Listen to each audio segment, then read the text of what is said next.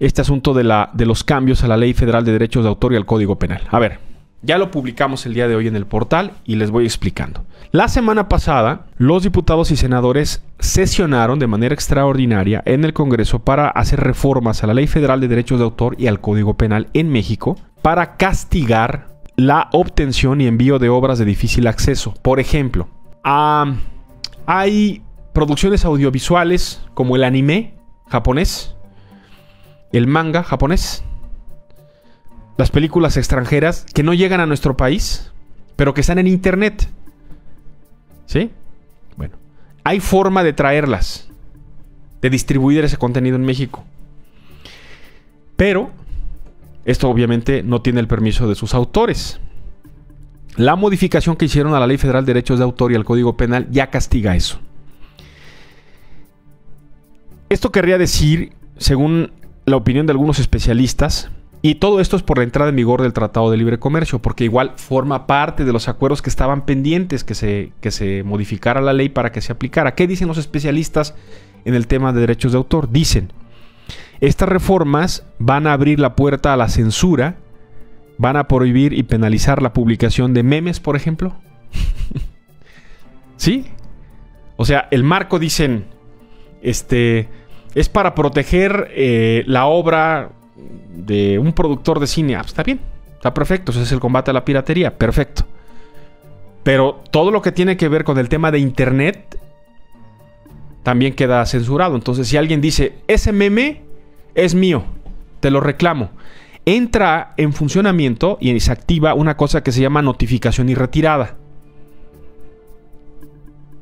¿Sí? Eso fue lo que aprobaron los diputados y los senadores la semana pasada.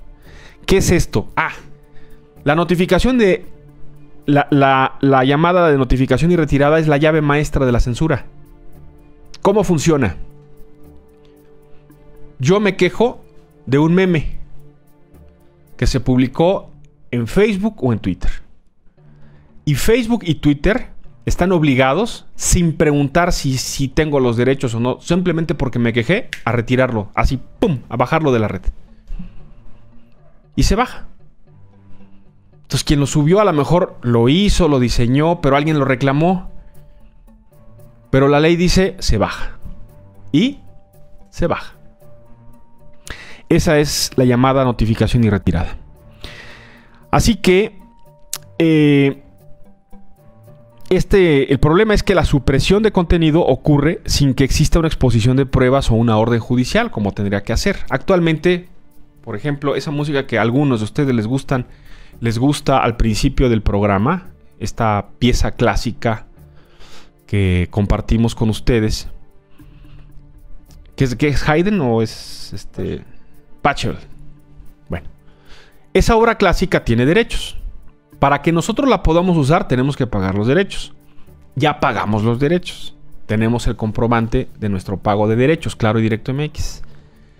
Pero hay personas en el mundo que se dedican a reclamar esos derechos entonces todos los días recibimos más o menos entre 12 y 15 notificaciones en YouTube para que la parte que contiene esa melodía no la silencian. YouTube la silencia porque alguien la está reclamando. Y todos los días tenemos que mandarles el recibo y decirle, mire, este señor que dice que tiene los recibos, pues que muestre su recibo, aquí está el mío. Y más o menos como un mes después ya nos responde YouTube, ah, sí es cierto, tienes razón, este, tú tienes la razón. Pero mientras ya nos tuvieron callados un mes. Esto es lo que está funcionando ahorita a nivel global, con derechos de autor. Lo que viene para México es un apretón todavía más fuerte. ¿Sí? Viene un apretón todavía más fuerte.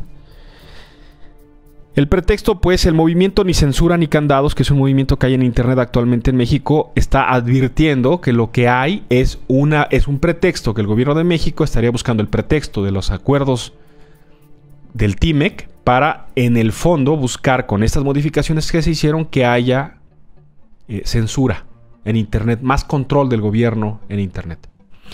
Se activó también otra cosa que se llama la llamada del candado digital esa medida del candado digital establece una pena de cárcel de hasta 10 años a todas las personas que reparen, alteren, modifiquen sus equipos o dispositivos electrónicos, o sea, mi tablet, mi computadora, mi teléfono. Yo no puedo ir a un taller X a que me reparen mi teléfono. La ley me obliga ir al centro autorizado de la marca de este teléfono o de esta tablet o de esta computadora para que ahí me lo arreglen. Eso establece la ley. ¿Qué hubo? Ahí está. Vamos a estar sobre el tema, por supuesto. No le quisimos entrar y me lo habían preguntado, Roberto, ¿qué onda con la libertad de, con la ley de derechos de autor y qué onda con la reparación de dispositivos hasta que tuviéramos, ahora sí, ya se publicó lo que aprobaron, veamos de qué se trata, de esto se trata. Ahora sí, ¿qué les parece? Qué bonito, ¿ah? ¿A poco no se siente cómodo? Que digan, ah, si llevas tu teléfono para que le amplíes la memoria o para que le cambies el programa, eh, esto que le llaman a algunos des, el, el flexeo, el desbloqueo, etcétera, pues según ahora la ley es cárcel.